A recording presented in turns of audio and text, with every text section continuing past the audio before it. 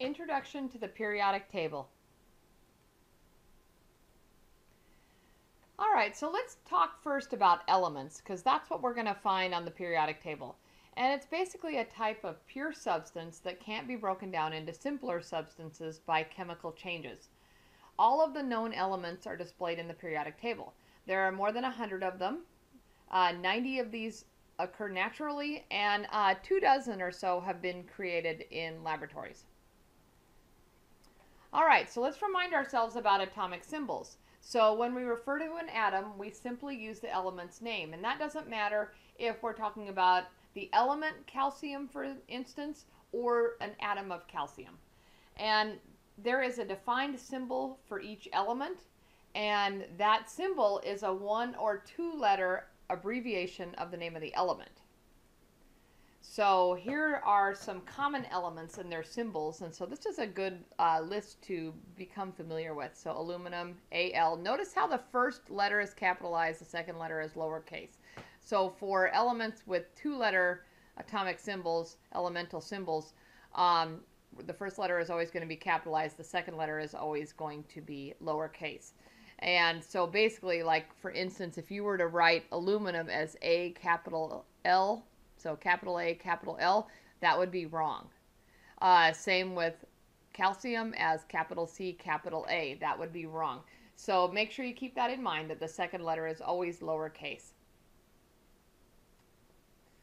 All right, so here is the periodic table. And so let's just talk about a few things on it. Um, one are these group numbers, okay? So we'll come back to this a little bit later in the presentation. But each one of these groups um, has elements that share similar properties, okay? And, um, and another thing to keep in mind here is uh, this key down here. So see that the light blue those are non-metals, so that grayish light blue. Those are all non-metals.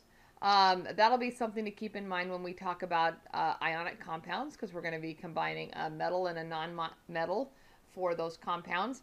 Um, these, these elements that are riding the line between the nonmetals and the metals are called metalloids. They're also called semimetals or um, you can also think of them as the semiconductor metals. Um, and so they have similar properties to, to both of these. So they're, they're kind of riding the line. Um, all of the tan elements, these are all metals, okay? And uh, so you'll recognize some of them. Here's iron, here's nickel, copper, gold, platinum. Um, but, you know, other ones that we're not used to thinking of metals as sodium, potassium, they're all metals. Um, hydrogen is not a metal, so technically it should be over here with the nonmetals, but it shares properties with other elements in the first group. Um, all right, so group 1 and 2, 13 through 18, these are all main group elements, and this area in between, those are transition metals. And one last thing that is on here, well, a couple of things we'll talk about. Um, the black lettering for an element, that means it is a solid under standard conditions. If it's blue, like mercury, that means it's a liquid. If it's red, that means it's a gas under standard conditions. And then finally, on each block, you're going to see uh, this, basically this uh, block that tells you some information about each element. So the atomic number, that's the number of protons. There's your atomic symbol, uh, this is the weighted average atomic mass, okay, for all of the isotopes. And then some periodic tables have the name, others do not. The one that you will have for your exams will not have the name, but it will have this other information. All right, so Mendeleev uh, in Russia and Meyer in Germany independently recognized that there was a periodic relationship among the properties of the elements known at the time. So for, exam for example, they noticed that lithium, sodium, and potassium were all shiny, they conduct heat and electricity well, and they have similar chemical properties. Same goes for calcium, strontium, and barium, also shiny, conduct heat and electricity well, but are less reactive than lithium, sodium, and potassium. Now, both of them published tables with the elements arranged according to increasing atomic mass. Now, Mendeleev, he used his table to predict the existence of elements that would have properties similar to aluminum and silicon, but those elements weren't yet known. So, when gallium and germanium were discovered, it supported uh, his work greatly, and so um, and so that's basically how he became the father of the periodic table. So here's just a, an image of his his notes, and so basically, you know, his construction of the original periodic table, and here's a picture of the guy himself. All right, so by the 20th century, it became apparent that the periodic relationship involved atomic numbers, which remember, that is the number of protons in the element, as opposed to the atomic masses. And, um, and basically, that led to something called the periodic law which says that the properties of the elements are periodic functions of their atomic numbers. Now, um, there's in, on the modern periodic table, there are arrangements of atoms in increasing order of their atomic numbers, and uh, atoms with similar properties are grouped in the same vertical column. Okay, so it's arranged uh, in a series of horizontal rows of increasing uh, atomic number, but down each group in a vertical column, um, those elements have similar properties. So again, if we go back to our periodic table, similar properties for lithium, sodium, potassium, just as we mentioned earlier. Beryllium, magnesium, calcium, strontium have similar properties. Transition metals in each one of these columns, similar properties. Okay?